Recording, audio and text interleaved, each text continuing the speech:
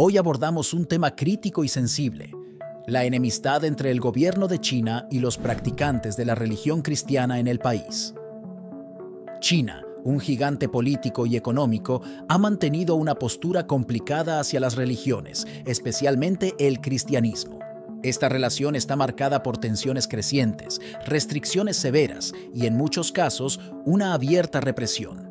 Desde la demolición de iglesias hasta la detención de líderes religiosos, los cristianos en China enfrentan desafíos diarios para practicar su fe. Pero, ¿qué motiva esta hostilidad? ¿Cómo viven su fe los cristianos chinos bajo un régimen que intenta controlar y limitar su libertad religiosa? En este video, desentrañaremos la historia detrás de esta confrontación, explorando la política religiosa de China, los testimonios de aquellos que practican su fe en la clandestinidad y el impacto global de esta situación. Prepárense para un análisis profundo y revelador que nos llevará a través de la compleja dinámica entre un Estado autoritario y una comunidad religiosa resiliente. Acompáñennos en esta travesía y descubran cómo la fe y la resistencia se entrelazan en el corazón de China. Para entender la enemistad actual entre China y el cristianismo, es esencial explorar la historia y las políticas del país hacia las religiones. A lo largo de su historia, China ha tenido una relación complicada con el cristianismo, marcada por periodos de tolerancia y represión. La dinastía Qing y el cristianismo siglos XVI-XIX. Los primeros misioneros cristianos, como los jesuitas, llegaron a China durante la dinastía Ming y Qing. Aunque inicialmente fueron bien recibidos, el crecimiento del cristianismo y su asociación con potencias coloniales europeas llevó a la persecución. 1912 al 1949. La caída de la dinastía Qing y el establecimiento de la República de China trajeron un breve periodo de mayor libertad religiosa. Sin embargo, el cristianismo seguía siendo visto con sospecha debido a su conexión con influencias extranjeras. 1949 al presente. Tras la Revolución Comunista en 1949, el Partido Comunista Chino, PCC, tomó el poder estableciendo una ideología atea y una política de control estricto sobre todas las religiones. El gobierno estableció organizaciones controladas por el Estado, como la Asociación Patriótica Católica China y el Movimiento Patriótico de las Tres Autonomías para Protestantes, buscando integrar a las comunidades cristianas dentro del control estatal y alejarlas de la influencia extranjera. Desde su ascenso al poder, el PSG ha cerrado iglesias, arrestado líderes religiosos y disuelto grupos de oración no registrados. Durante la Revolución Cultural, todas las religiones, incluido el cristianismo, fueron duramente reprimidas. Lugares de culto fueron destruidos y los practicantes fueron perseguidos. Aunque la política de reforma y apertura de Deng Xiaoping trajo cierto alivio y un resurgimiento de la práctica religiosa, el control estatal siguió siendo estricto. Xi Jinping, 2012 al presente. Bajo la presidencia de Xi Jinping, la represión de la religión, incluida la cristiana, se ha intensificado. Las políticas incluyen la demolición de iglesias, la eliminación de cruces, la prohibición de actividades religiosas no autorizadas y la persecución de líderes religiosos. Los motivos de la enemistad son control social. El PSSECH ve la religión como una posible amenaza a su control absoluto. La lealtad religiosa puede competir con la lealtad al partido y al Estado. Soberanía nacional. Las conexiones del cristianismo con Occidente, especialmente con Estados Unidos y Europa, suscitan sospechas sobre su influencia y posible desestabilización política. Ideología atea el comunismo marxista-leninista promueve el ateísmo y considera la religión como un opio del pueblo. La erradicación de la religión es vista como un paso hacia una sociedad ideal comunista. Ejemplos de represión, demolición de iglesias, casos de iglesias demolidas en Zhejiang y otras provincias, detención de líderes religiosos, pastores y sacerdotes detenidos por liderar congregaciones no registradas, reformas educativas, intentos de inculcar ateísmo y valores socialistas en la educación, limitando la influencia religiosa. Muchos cristianos han optado por reunirse en iglesias domésticas no registradas, a pesar del riesgo de persecución. A pesar de la represión, el número de cristianos en China ha crecido, con estimaciones que varían entre decenas y cientos de millones. Grupos internacionales han denunciado la persecución religiosa en China y presionado para mejorar las condiciones de libertad religiosa.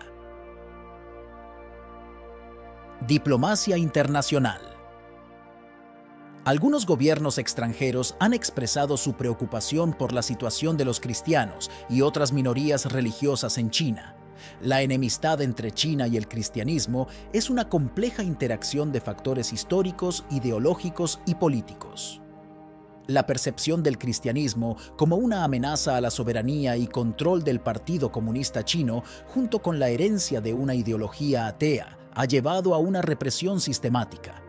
Sin embargo, la fe cristiana sigue creciendo, testimoniando la resiliencia y la adaptación de sus practicantes en un entorno hostil. Esta dinámica plantea importantes preguntas sobre el futuro de la libertad religiosa en China y la respuesta de la comunidad internacional. Apenas el 29 de junio, el gobierno chino promulgó una nueva ley de seguridad sobre el territorio semiautónomo de Hong Kong, cuya soberanía fue transferida por el Reino Unido a China en 1997. La nueva ley prohíbe todo tipo de manifestación pública por la independencia y la democracia o manifestaciones de odio hacia China continental.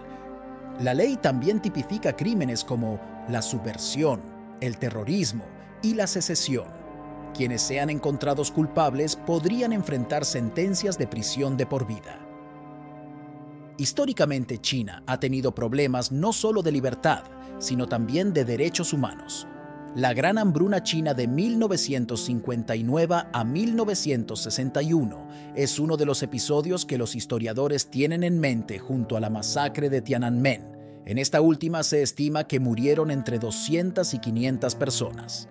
Oficialmente China es un régimen de partido único y su ascenso económico ha venido de la mano con lo que se considera un contrato social tácito entre la población y el gobierno, en el que los ciudadanos han cedido sus derechos políticos al gobierno a cambio de que éste cree las condiciones necesarias para el progreso económico en el marco de un capitalismo de Estado que promueve el progreso individualista. Sin embargo, no todos están de acuerdo con este contrato social, y prueba de ello son las constantes manifestaciones de líderes políticos, artistas y manifestantes que exigen una transición hacia la democracia. El intelectual chino Liu Xiaobo fue uno de ellos. Por su manifestación a favor de la democracia, recibió el Premio Nobel de la Paz en el año 2010. Liu Xiaobo murió en julio de 2017 bajo custodia del gobierno a causa de un cáncer hepático. El gobierno chino considera que su visión de nación es la única posible, la voz del Partido Comunista es la única que puede ser escuchada por el gobierno, y más allá de esto, no existen más voces ni visiones para China que puedan tener cabida dentro de la legalidad. Es en este contexto, en el de un Estado autoritario que se opone a toda visión del mundo que no sea la gubernamental, en el que debe entenderse la persecución a la religión y a los cristianos. Las iglesias en China deben estar sujetas a la inspección gubernamental si desean realizar sus cultos sin ser perseguidas. Los sermones de los pastores que han accedido a la inspección del gobierno son revisados y avalados por funcionarios del Estado y las iglesias que no cuentan con la aprobación de Beijing se enfrentan a la clausura por parte del gobierno. El 2 de enero de 2019, el New York Times documentó cómo operan las iglesias en China. Muchas denominaciones cristianas realizan sus actividades religiosas de forma clandestina, debido a que no cuentan con el beneplácito estatal y muchas otras, que deciden acatar las normas del gobierno, pueden verse enfrentadas a un cierre intempestivo si pierden el apoyo de las autoridades. En China no son raras las detenciones de pastores o la confiscación de Biblias. Sin embargo, a pesar de los intentos de control por parte del gobierno sobre las iglesias, la vida religiosa en China está prosperando. El New York Times estimó que solamente las iglesias clandestinas podrían albergar a 30 millones de fieles. Si a esto se suman los creyentes afiliados a iglesias aprobadas por el Estado y los que, aunque participando de la actividad de las iglesias clandestinas, no pueden ser contabilizados, el número oficial de cristianos en China podría ser mucho más alto.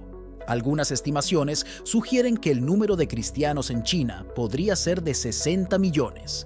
Esto incluye a iglesias aprobadas por el Estado y a iglesias clandestinas de distintas denominaciones. Gu Baoluo, un creyente recién convertido al cristianismo, citado por el New York Times y participante en una iglesia llamada Early Rain, la cual fue clausurada por el gobierno a finales de 2019, afirma que la represión del gobierno ha sido el principal obstáculo en la práctica de su fe. Gu se convirtió al cristianismo debido a la predicación del pastor Wang Yi, Gu descubrió gracias a Internet los sermones apasionados del pastor Wang. Sintió que la preocupación de Wang por los pobres se apegaba a su propia opinión de que el gobierno estaba abusando de los trabajadores y violando los derechos humanos al destruir las casas de su vecindario para hacerle espacio a costosos desarrollos inmobiliarios. Gu fue bautizado en el 2018. Vi injusticias en la sociedad, dijo Gu Vi que es una mentira cuando el gobierno promociona a China como un país justo en el que se aplica la ley de manera civilizada. Preocupado por su propia seguridad, Gu hace poco cerró sus negocios con la esperanza de evitar el escrutinio del gobierno. Dijo que ha sentido miedo al ver que la policía arresta a sus amigos. Gu ha recurrido a la Biblia en días recientes en busca de apoyo a veces recita un verso de Proverbios, mas la senda de los justos es como la luz de la aurora, que va en aumento hasta que el día es perfecto. En diciembre de 2018, el New York Times documentó cómo la persecución religiosa también se extendía a los musulmanes, muchos de los cuales han sido detenidos en campos de concentración, obligados a realizar trabajos forzados y a tomar programas de reeducación que incluyen la aceptación de la ideología del gobierno. A medida que China afianza su visión y poder como nueva potencia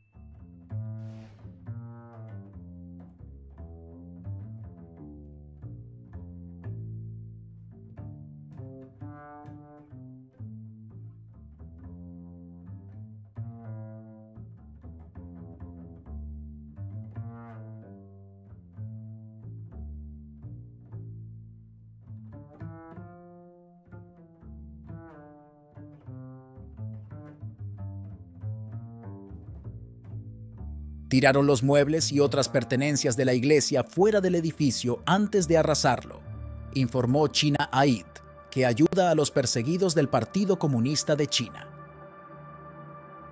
Una mujer cristiana que intentó resistir a los funcionarios perdió el conocimiento después de ser empujada al suelo.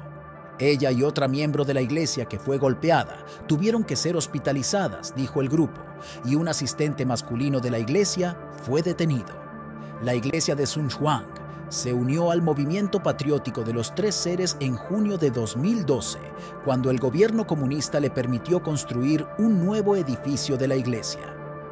Después de que el edificio se construyó en junio de 2013, la iglesia recibió avisos de desalojo y demolición de las autoridades de la aldea de Sunchuan. China Aid dijo que la decisión de 2013 de demoler la iglesia se tomó sin el consentimiento de los locales y que las autoridades tenían prohibido llevar a cabo la demolición en ese momento. En cambio, los vehículos propiedad de la provincia de Henan arrojaron toneladas de tierra y rocas a la puerta de la iglesia. Los funcionarios también cortaron la electricidad y el agua a la iglesia. La revista italiana Bitter Winter una publicación producida por el Centro de Estudios sobre Nueva Religión que cubre temas de derechos humanos en China, informó a principios de junio de 2020 que las autoridades removieron cruces de más de 250 iglesias sancionadas por el Estado en la provincia de Anhui entre enero y abril. Se ordenó que todos los símbolos cristianos se eliminen como parte de la campaña de represión del gobierno dijo un empleado provincial de la ciudad de Ma'anshan. La represión de China contra la religión y las minorías religiosas ha sido objeto de escrutinio por parte de actores internacionales como la Comisión de Libertad Religiosa Internacional de EEUU, grupos de derechos y el Departamento de Estado de EEUU. En su informe anual de 2020, la USIRF Comisión de Libertad Religiosa Internacional de EEOU, señaló que las autoridades no solo han eliminado las cruces de las iglesias de todo el país, sino que también han prohibido que los jóvenes de 18 años o menos participen en servicios religiosos. Los informes también han indicado que las autoridades han exigido que algunas iglesias cristianas de las denominaciones católica, ortodoxa y anglicana retiren imágenes de Jesús y de la Virgen María dentro de sus edificios y las reemplacen con imágenes del presidente Xi Jinping. En la lista mundial de vigilancia de Open Doors USA, China está clasificada como uno de los peores países del mundo en lo que respecta a la persecución de los cristianos. La organización señala que todas las iglesias se perciben como una amenaza si se vuelven demasiado grandes, demasiado políticas o invitan a líderes extranjeros. Gina Go, gerente regional de International Christian Concern en el sudeste asiático, dijo recientemente que China ha reanudado su represión contra el cristianismo luego de que la amenaza de la pandemia de coronavirus se ha reducido. En las últimas semanas hemos visto un mayor número de demoliciones de iglesias y mudanzas cruzadas en iglesias aprobadas por el Estado en toda China a medida que las reuniones de las iglesias en casa continúan enfrentando interrupciones y hostigamiento.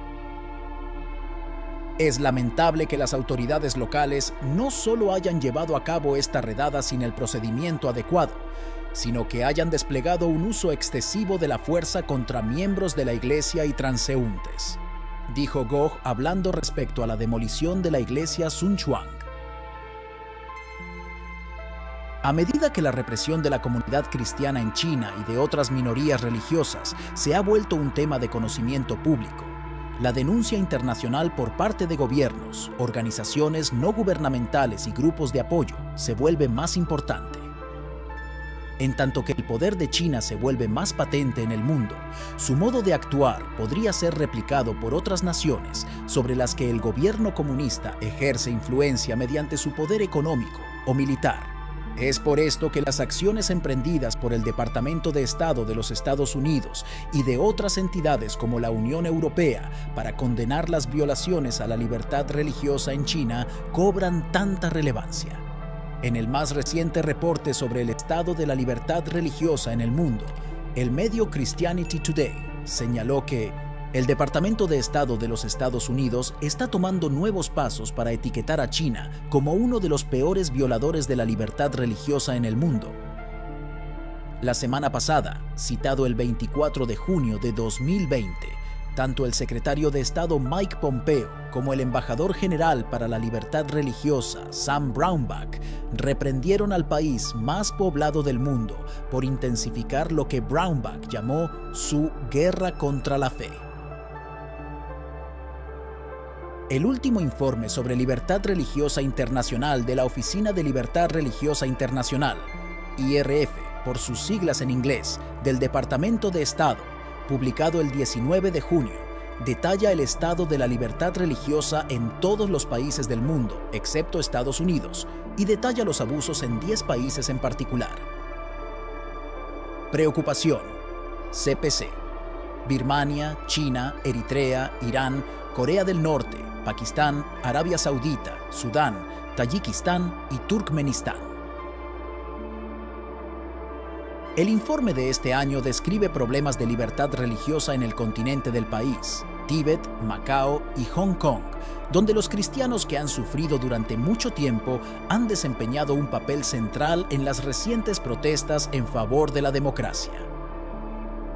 También incluye una sección especial dedicada a la represión de China en Xinjiang, la provincia autónoma del noroeste, donde entre 800.000 y 2 millones de musulmanes uigures han sido detenidos y, según el informe, sometidos a desaparición forzada, tortura, abuso físico y detención prolongada sin juicio por su religión y etnia.